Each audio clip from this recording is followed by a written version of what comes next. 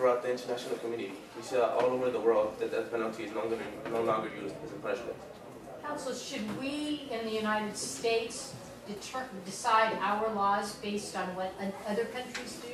Well, in Atkins, versus Virginia, and Thompson versus Oklahoma, it was noted that it was useful to look at the internet in the international community in citing whether punishment was cruel and unusual.